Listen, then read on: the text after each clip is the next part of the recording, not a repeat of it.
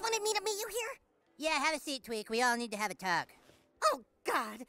All right, guys, now that we're all here, I think we need to have a difficult conversation. It's obvious that Bebe is like the coolest, smartest, most awesome person we've ever met.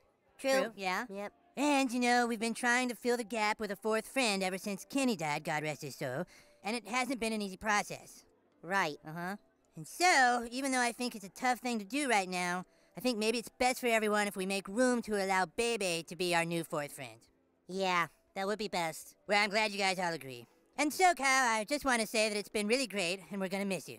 Huh? Kyle? And even though it didn't quite work out, I'm sure you'll find other friends down the road, Kyle. Here's a nice watch for you and some peanuts. Me? Dude, I've been here since the beginning. And we're really sad to see you go. Let's give a big round of applause for Kyle, everybody. Hip hip. Dude, we're not kicking Kyle out. Please? No. All right, fine. So then I guess we have no choice but to let you go, Tweek. But we want you to know that it's been really fun. Here's a watch and some peanuts. No way. Tweek's cool. Yeah, well, dumbasses, how are we gonna make room for Bebe?